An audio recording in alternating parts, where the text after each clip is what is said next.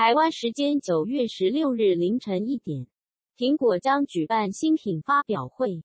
关于苹果即将推出的新品，网络上有很多猜测。推特知名三 C 达人就笃定说，Apple Watch Series 六将会有全新配色，而且在发表会当天就能到苹果官网订购。他表示，苹果会发布新款 Apple Watch 一般版和 Series 六高阶版。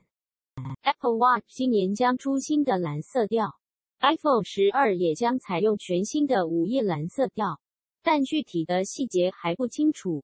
此外，他还说，苹果的新品支援快充功能，这一功能可能出现在新的 Apple Watch 或 iPad Air 四上。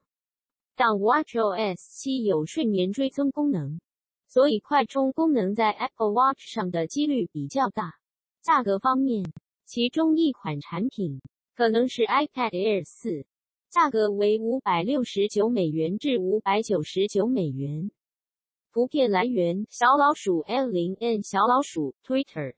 过去他曾准确预测出 WatchOS 七、iOS 十四和 macOS 十一 Big Sur 的各种新功能。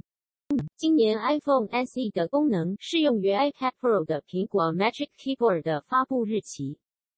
他也预测的神准，所以果粉们对他非常信任。